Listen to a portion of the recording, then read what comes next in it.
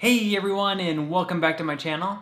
My name is Josh and this is your stimulus check update for the next stimulus package for Wednesday, September 23rd. I hope everyone is off to a good and safe start to their Wednesday so far. In this video I'll be discussing both the first and second stimulus check. I'll also be discussing unemployment, why Steven Mnuchin and Jerome Powell continue to push for more relief, and then I'll be wrapping up this video by answering some of the comments and questions that I received in my previous video. But first, if you wouldn't mind real quickly liking this video, give me a big thumbs up. It really just helps with the YouTube algorithm in terms of pushing this video out to other viewers like you and hopefully helping other people like you as well. Okay, so I'm going to kick off today's video per usual with just another update on the federal unemployment insurance benefits. Jumping right into it today. Up on the screen, you'll see the list of the states that have already started paying out the $300 federal plus up to their residents. At this point, we already have nine states that have already depleted their $300 weekly funds. These states include Alabama, Arizona, Idaho, Massachusetts, Missouri, New Hampshire, Rhode Island, Texas, and Utah. We can expect other states like North Carolina and Tennessee to be soon to follow. So now, without these states dispersing the extra $300 on a weekly basis, residents of these states will only be receiving their normal state unemployment benefits. This is why it's so important for Congress to finally get around to extend these benefits on a longer term, more stable basis. Next, up on the screen, you'll see the list of the states that have been approved for the $300 federal plus up, but still haven't even started sending them out to their residents yet. If you live in one of these states, I'm truly sorry. It's pretty crazy that we've seen some states already pay out the full six weeks of benefits and already deplete their funds, while some states haven't even started paying out yet. With that said, let's hope that it's not that much longer before these states begin to pay out. Residents in these states cannot afford to wait too much longer for these payments. Okay, so at this point, I'm going to move right along to some updates on the next relief package and the second stimulus check. Federal Reserve Chairman Jerome Powell and Treasury Secretary Steven Mnuchin were both quite optimistic about the U.S. economy recovering from the pandemic-induced recession, but they also voiced that more aid from the government is most likely needed. In front of the House Financial Services Committee, Powell said he believed the economy was healing, but the job market has only regained about half of the 22 million jobs that were lost in March and April when the U.S. economy was shut down. Treasury Secretary Steven Mnuchin proclaimed that the U.S. is currently in the midst of the fastest economic recovery from any crisis in history. However, just like Powell said, Mnuchin also proclaimed that major sectors of the economy are still suffering, such as the hospitality industries.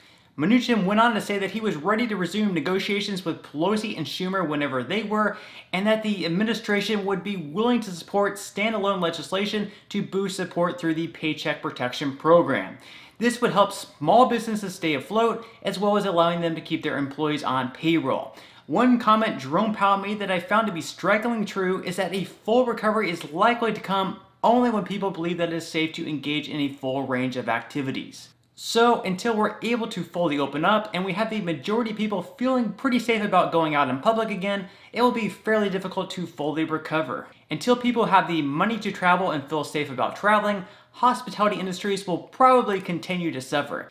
Until people feel safe about going to crowded bars to celebrate weekends with their friends, it will be hard for bartenders to earn a living from tips and such. It's going to be very difficult for many of the hospitality industries in particular to see a full recovery anytime soon until people feel like they can safely go back to normal. And I totally get it. You may feel safe yourself going out and resuming your life as normal, but we need everyone to feel that way also.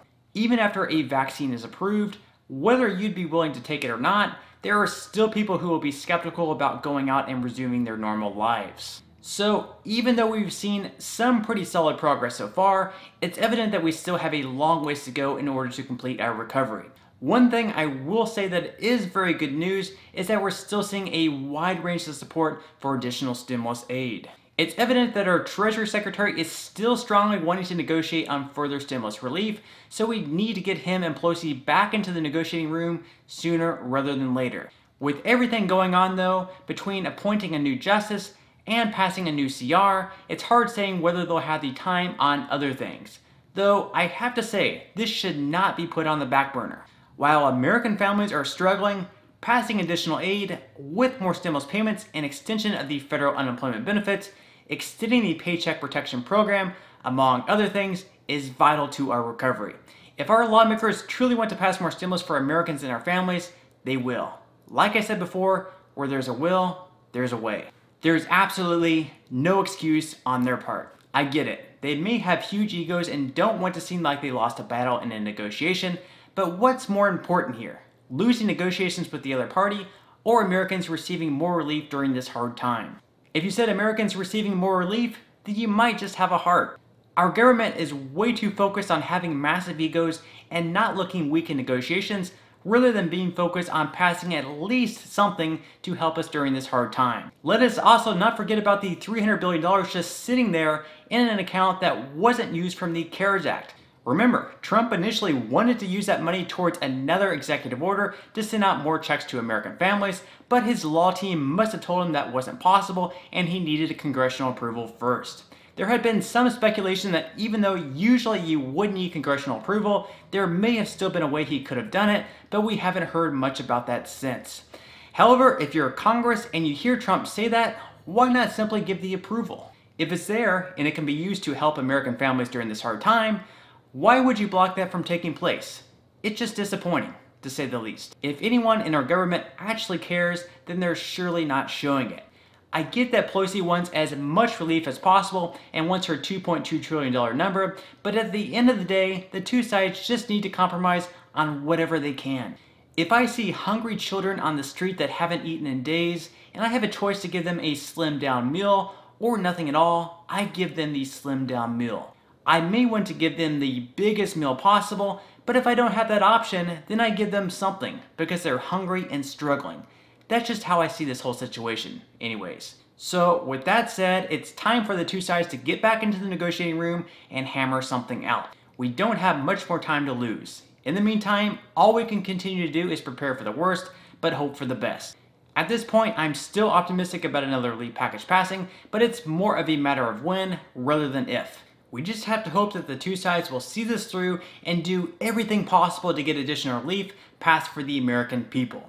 Okay, so at this point in time, I'm just going to give a quick update on the first round of stimulus payments because unfortunately there are still quite a few people who haven't even received their first stimulus check yet.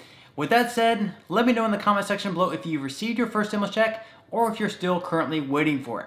If you're still waiting for your first stimulus payment, more than likely you will need to fill out the non-filers tool so that the IRS will have all your information. Now, if you did fill out a tax return within the last two years, then they should already have all of your information, However, otherwise, I would go ahead and fill out the non-filers tool just to make sure that they do have the proper information. Additionally, if you're still waiting for your first payment, I would just continue to check the payment portal and I would also recommend that you ask family members if they claim you as a dependent on a recent tax return.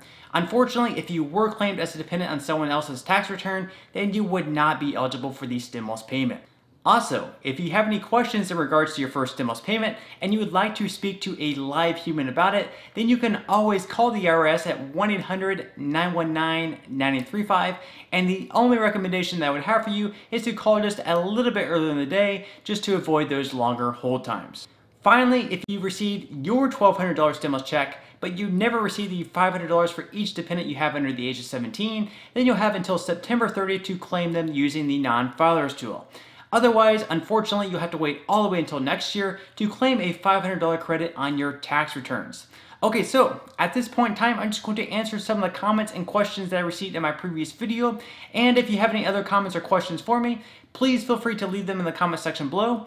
I do try to answer as many of the comments and questions as I possibly can, but for those comments and questions I'm not able to respond to, I do try to pick some of the more popular ones to answer in the next video in video form.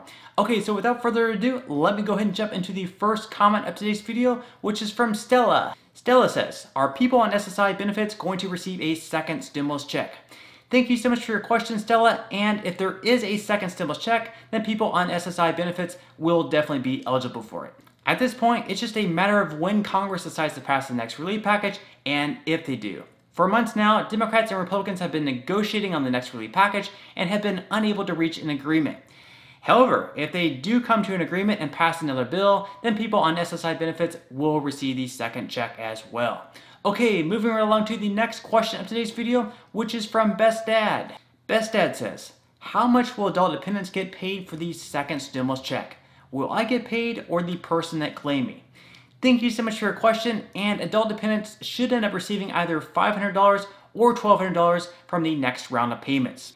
In the Republicans' plan, they want to send $500 to adult dependents, whereas in the Democrats' plan, they want to send $1,200 to adult dependents. Now, it hasn't yet been said who will be the one who receives the payment, but it's my best guess that the person who claimed them as a dependent will be the one receiving it. From there, I guess the person who received the payment could either give the money to their dependent, split it, or however you two decide. Alright, so on that note, I'm going to go ahead and wrap up this video. If you did enjoy the content in this video and you'd like to see more videos like it, please consider subscribing to my YouTube channel. It is completely free to do so and it's a great support to me.